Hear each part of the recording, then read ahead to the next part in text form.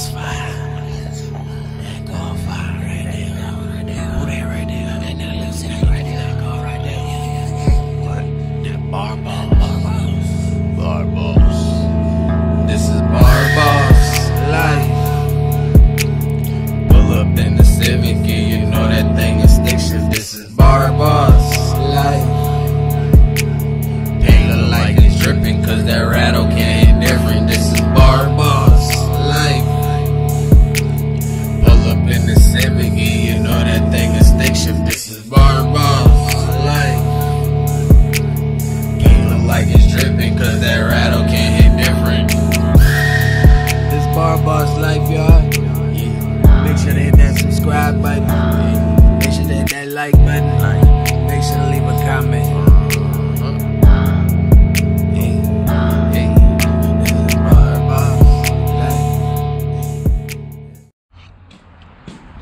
what's up, you guys? Welcome back to the garage.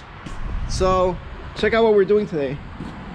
I got myself a thermostat, part number 15187 DLG.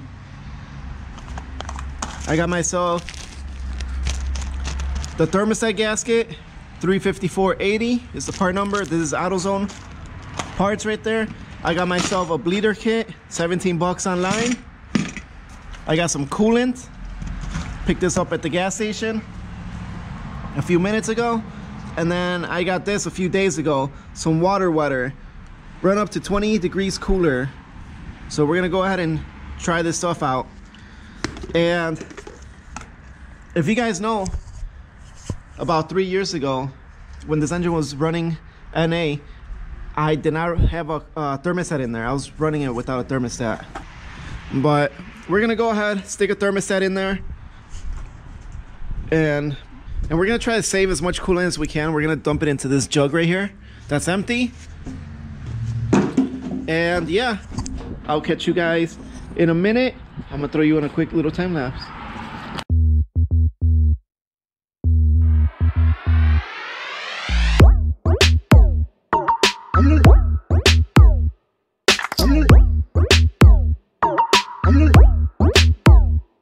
Come on, I just broke a bolt. It looks like it's my grounding bolt. So that means my grounds are on the wrong bolt, on the bolt that goes all the way through onto the housing. I thought I was gonna have to go to the junkyard to get this whole housing. But as you guys can see, this this sensor right here, um, the little cap is also broken a little bit right here. But either way, it's the bolt that goes right underneath that. I think that's my ground bolt. And the whole head is ripped right off like nothing. I hate when you start working on something and then it turns into something else. See, it's such a pain. Something always has to happen. That's why when I work on cars, I try to do it when I know that I'm gonna have time and I'm gonna have another car that's available to drive around if I need parts or whatever. And always, I like to start nice and early because you never know what you're gonna find. But either way, it looks like this is my ground bolt. So that means that, like I said, I put those grounds in the wrong bolt which I guess is a bad thing, but it's a good thing because now I don't have to go to the junkyard. Whew, that's a relief. The bolts are off. And I did leave the gasket in there, but no thermostat, just the gasket by itself. And let me show you the bolt that, that broke. It's actually right there. That top one, right there. Man, it was such a bad feeling when that bolt broke right off and that head broke off. It was the worst feeling ever. But to later find out that that was just a ground bolt such a relief. Either way I'm gonna go ahead pull this out. And if you guys can see let me zoom in real quick. This gasket has like two little dots right here. And then it's got like a little indentation right here that goes up just like that. Just how I took it off that's how the new one has to go in. I'm gonna go ahead and get some napkins wipe everything really good and install my new one in there. So here's the new gasket. It's very nice. So here's the new thermostat. With the new gasket. We're gonna go ahead and slip this gasket right onto the thermostat. And how we're gonna install this is you guys see this little nipple that's right in there, right here. I believe that little piece is gonna sit right on top right here. So right where that little indentation is. I'm gonna go ahead and slip it real quick and I'll show you. So I went ahead and I slipped the little gasket on there, but for some reason it looks kind of weird to me. It looks like almost like if this didn't belong there. So you guys can see, you guys see the little nipple down there? Like it seems like that should have been somewhere up here, not down there where it's at. Kind of weird. But whatever, let's just send it and see what happens.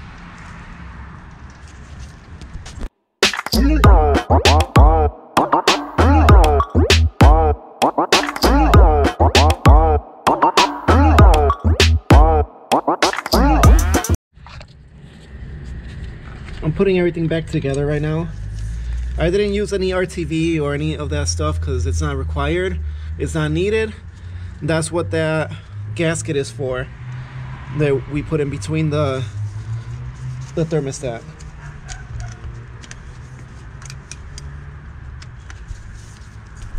Everything's back together, so I'm gonna go ahead and start adding some coolant in there. Or actually, I'm gonna add this thing first. And let's go ahead and use this so we can try this out.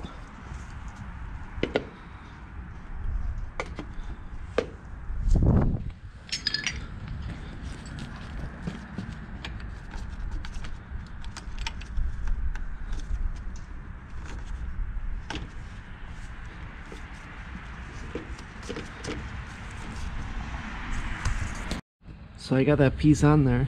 I don't know if it could be trusted or not. I'm gonna go ahead and pour a little bit of regular antifreeze in there and see if it leaks out or anything. All right, let's go ahead and release this and see if we get any leaks. Oh yeah, we got some leaks.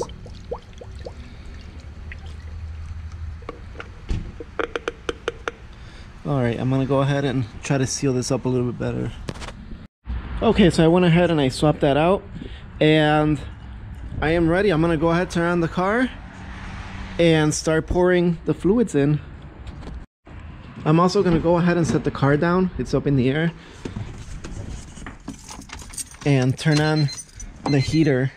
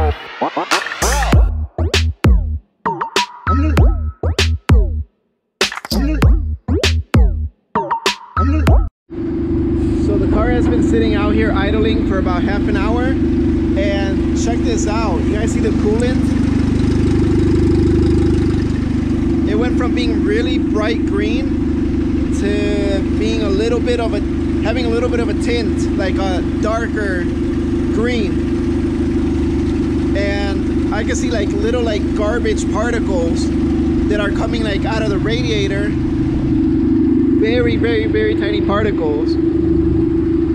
So let me show you one more time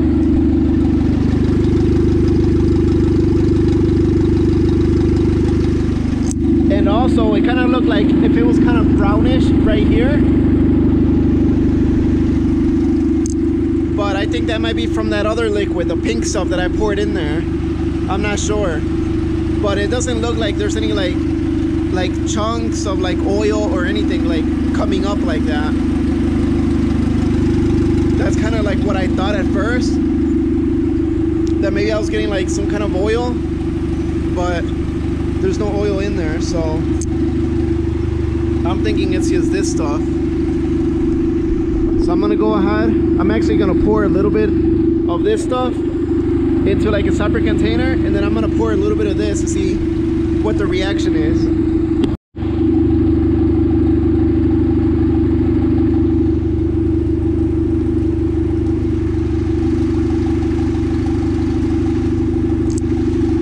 See how bright green that is? Compared to this over here?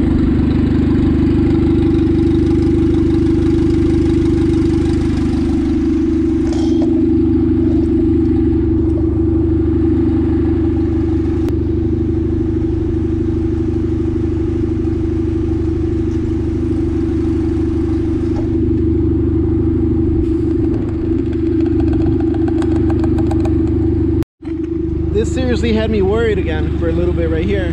But check this out.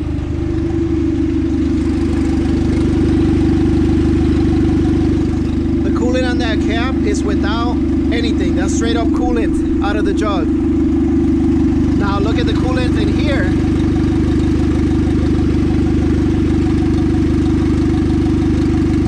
This is mixed. Mixed with a few little drops of this and it turned it a little bit darker. And now look at this over here.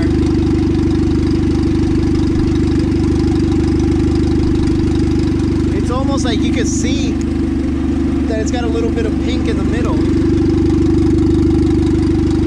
But it's not I'm guessing it's just this stuff that's getting mixed in there. But huge difference.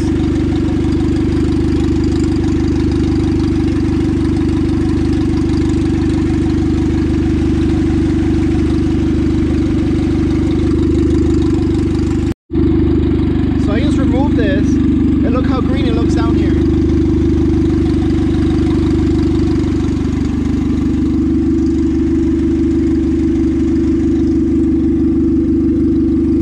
This is so weird.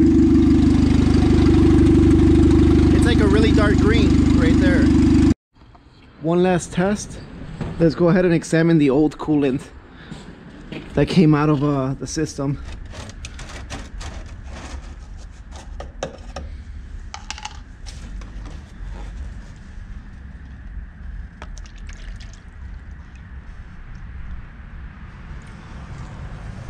Yeah, this coolant is really nice and green. So it definitely has to be it has to be the the bottle that I put in there. Like it's not as bright green. Let's go over here by the sunlight.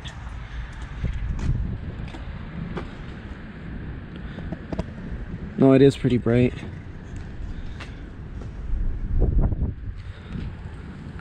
And let's grab the other coolant that's in the funnel over here. Yeah, that has to be that pink stuff that I put in there.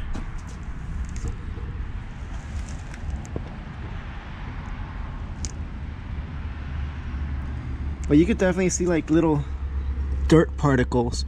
Like it's not oil, but it's like little dirt. Yeah, so that's kind of a relief.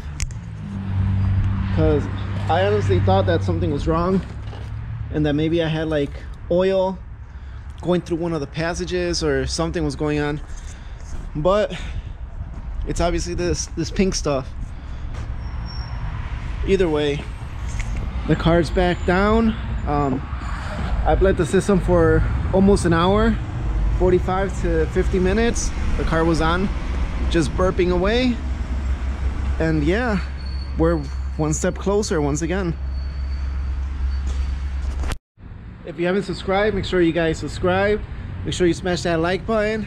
Big things are happening to this channel pretty soon. I'm gonna go ahead and clean up my mess. And I will catch you guys on my next one. Peace out, stay safe, catch you guys later.